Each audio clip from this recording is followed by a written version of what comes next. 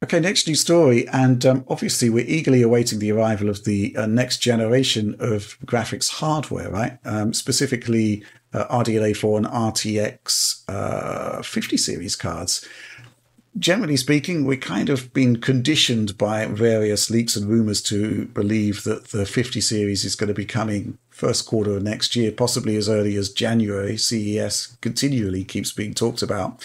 Uh, we actually now have some leaks about the um, about the hardware from renowned leaker Kopite7kimi, who uh, seems to have some sort of insider track, which um, continually generally proves to be correct.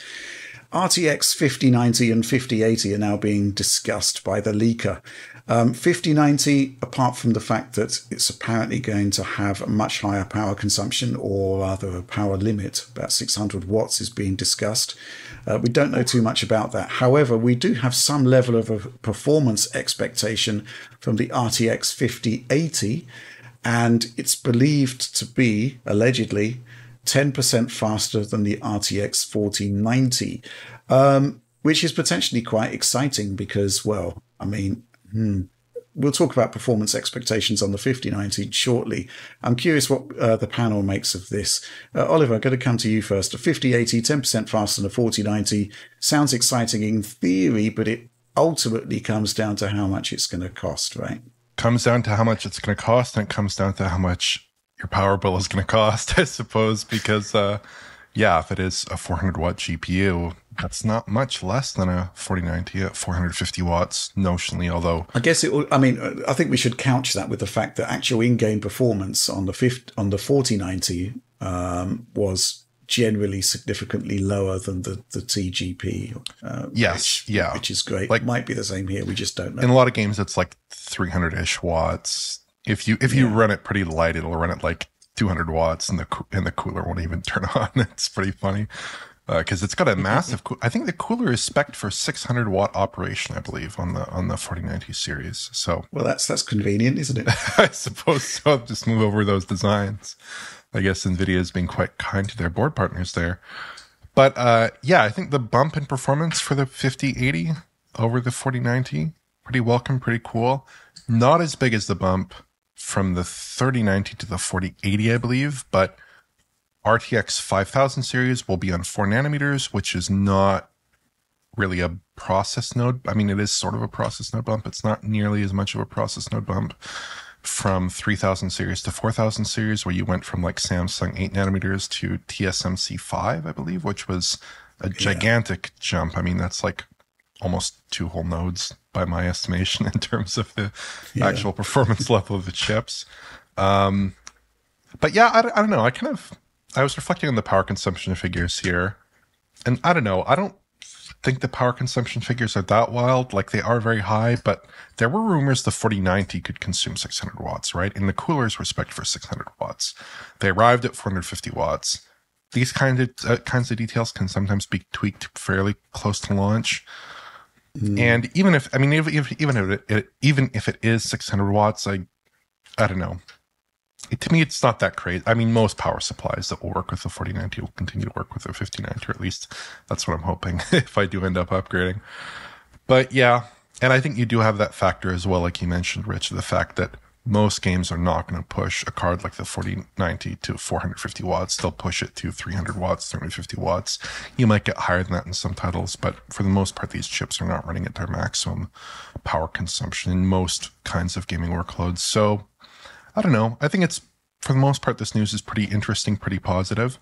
I would be very interested to see what the performance figures look like on that 5090, but I'd be more interested to see what kinds of features might come with this new series um, especially features like not just like SER or opacity micromaps or things like this, but features that really make a big difference for gamers that are kind of like these DLSS style features um, that they can really notice in an immediate sense, not just in a, in, a, in the sense that it's improving performance generally speaking. Like obviously you have DLSS frame generation, uh, and then obviously yeah. you have the various RTX features. You have DLSS two. You have all this all these innovations. I'd be curious to see what they're going to bring to the table with the 5000 series. And if that is compelling, I think that's a, much more of a game changer, possibly, than any marginal increase in performance here or there relative to the 4000 series. Yeah. I, I think that's a, a, pretty good take, actually. I do expect that we're probably going to see some sort of double frame generation mm-hmm. feature. It just kind of seems like a logical progression to me. Um, yeah, beyond that, well, I think it's really down to Nvidia to continue to strive on the innovation side with the with the software package because I think at this point DLSS is proven to be possibly the most game changing technology that's been added to the graphics market for, for, quite some time. I think the impact of it has been um, probably in excess of uh, the impact of ray tracing overall for more players. And um, yeah, they've got to continue to to keep on doing uh, those levels of innovation because you know the competition is inevitably going to catch up at some point. I'd like to see ray reconstruction revamped. I think Alex talked about that in the Outlaws coverage that we did. It's it was a great first effort, but we haven't seen uh, a particularly great improvement there. Um, I just really want to see conceptually what they're going to come up with next, though. You know, what is the next big DLSS thing? You know, is it even DLSS? Is there something else on the horizon? Um, we just don't know. Can't wait to find out. Um, John, do these mm. performance expectations excite you in any way? What's your? I mean, it all depends on pricing. I think, right? Yeah, I think but that's I, the bottom line. I do feel like there is a the four thousand series has become very well respected, but it is expensive. I feel like if they can somehow get the price down at all, if they can find a way to make this more feasible, like make the 48, the 5080 something that more people can kind of afford, they could potentially pull a Pascal lineup where I feel like Pascal is kind of this like perfect storm of just just the right price to performance ratio where a lot of people were ready to jump in. And I feel like they've been you know this could become like that that for the RTX series. Cuz all of their technologies you know frame generation the ray tracing stuff all of this DLSS it's very popular now it's very well known uh, but to get the best of it it's, it just costs a lot of money, right? Right.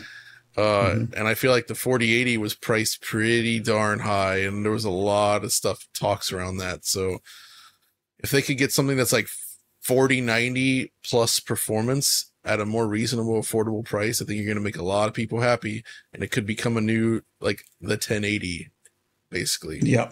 Mm-hmm. Yeah, it's. I mean, what can we say? The 40 series did actually turn out to sell incredibly well.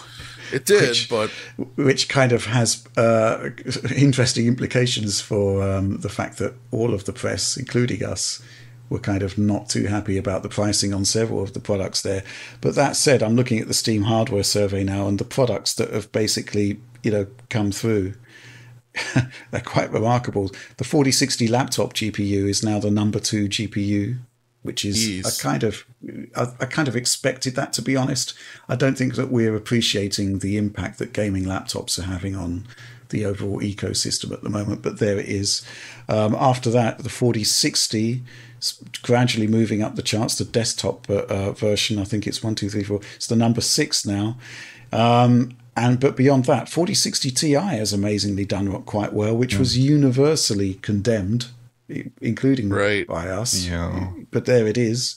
4070, uh, beyond that is um, is the next sort of entry. I thought that was a reasonable product, but it was kind of more of a, a sort of uh, how can I describe it? Um, not quite as good generally as a as a 3080, but you know, you got more memory and it costs less and you got frame generation. That isn't exactly a hugely exciting, compelling proposition, but I think ultimately there are a lot of people that are on 20 series cards that upgraded. The only 20 series um, that's that's in the Steam hardware survey at the top of the charts, anywhere near the top of the charts, remains the 2060. So I suspect there's been a lot of um, upgrading from that generation. Pricing, I really would like to see something decent uh, for the higher end products. I just think the stack needs to be kind of ampere class price versus performance to really excite people this time around. Um, and yes, features. That's that's what I really want to see. What are they doing next? Um, but yeah, there's going to be a, a, a, full stack there. I think there were some rumors that were slightly concerning that the next generation 5060 mm, um, is 5060. Yeah, that's, that sounds a bit weird, doesn't it? Basically, Does. the mainstream card is another eight gigabyte card, which is slightly concerning to me. Um, but you know, elsewhere, it's just going to be where NVIDIA pitches this. I've noted in terms of, it's interesting we're talking about a 5080 leak in terms of performance, but nothing on 5090. And I think this can go two ways. If the 5080 is using the same processor as the 5090, we're going to get an Ampere situation where yeah. You could buy an RTX 3080 and then there were diminishing returns in terms of price versus performance on anything better. You went for the 3090 for the extra memory. The 3080 Ti, I thought it was a bust, basically. Um, 10% faster than 3080 for the extra money wasn't really worth it.